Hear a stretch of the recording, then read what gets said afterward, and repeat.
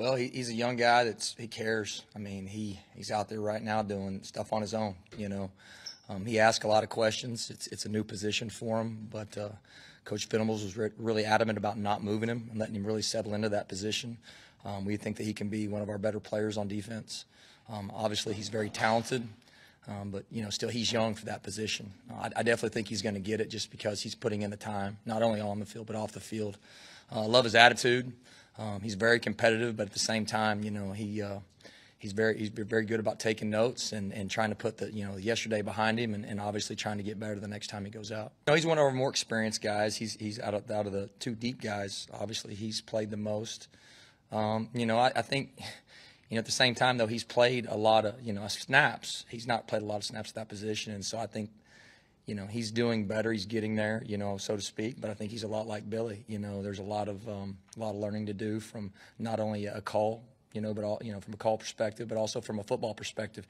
Anytime you learn a new position, you're not only learning a defense, you're learning how to understand the types of plays that you're going to get on that side of the football field, whether you're a, a field safety, a boundary safety, you know, a D lineman, a linebacker, whatever it is, you know, your eyes are in a different place for the first time and, and recognizing formations and plays. Um, just it goes into all of that, and he's doing a really good job. Again, he cares. He's asking lots of good questions, um, and he's going to be a really good player. Yeah, I think it's the I think it's the goal of the defense to get the ball back. So I mean, if you get, I mean that's that's that's the objective, right? Is to get the football. I mean, it's a little bitty oblong gray leather leather object, and your job is to get the ball back. So every every time that ball's in the air or that ball's on the ground or whatever, that our job is to go get that football. And so Coach Venables is adamant about turnovers, turnovers, turnovers. All great defenses uh, create turnovers, and I think the things that he's done here in the past, things he's done at Clemson, obviously, he's always been one of the top in the country as far as turnover goes. So there's not a day goes by that he doesn't emphasize getting the ball back. And and if you know if the ball's on the ground, we own that football. Yeah, I mean, it depends on how you look at it. You know what I'm saying? You you want it for them as much as they want it. So, I mean, it's always frustrating um, when they're trying to learn and you're trying to teach. But at the same time, nothing's better as a coach than watching somebody take a technique, take a call, take a coverage, apply what you say in the meeting room, or, or Coach Venables, you know, installing something new, or Coach Roof, or whoever it is, and then watching them, you know, start to see them grow in, in that in that part of the game. And so, I mean, it's growing pains anytime you put a new system in.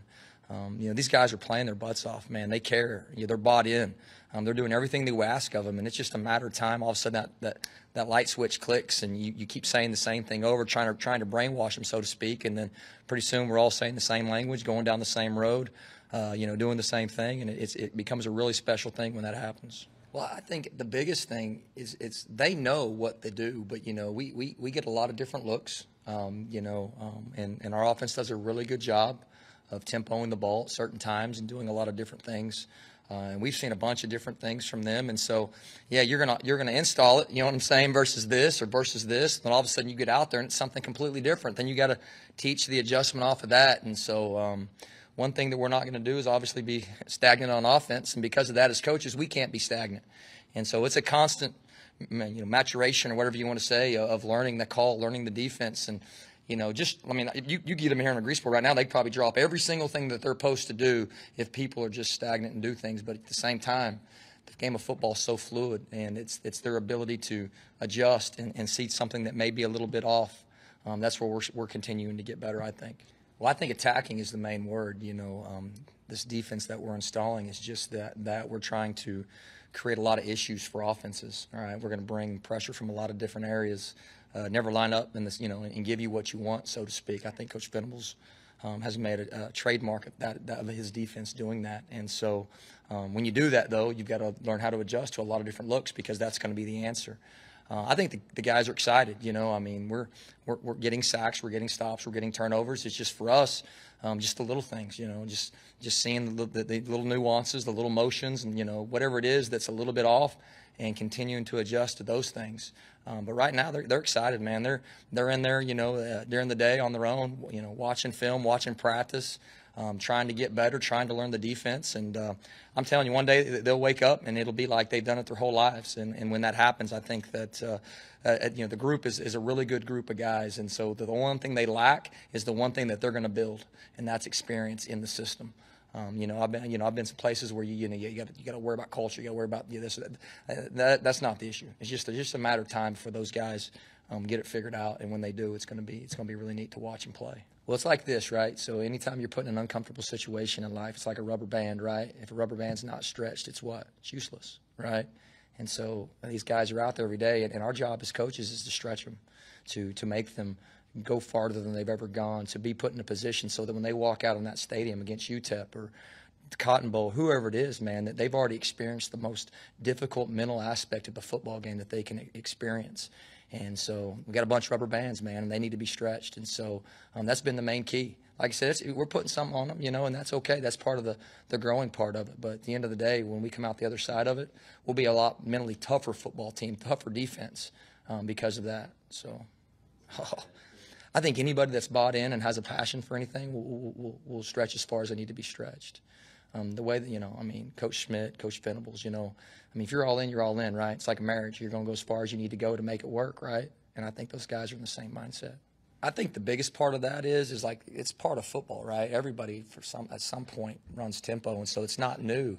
I just think that what it requires you to do is you got to come to practice ready to go, man. You can't have an off day.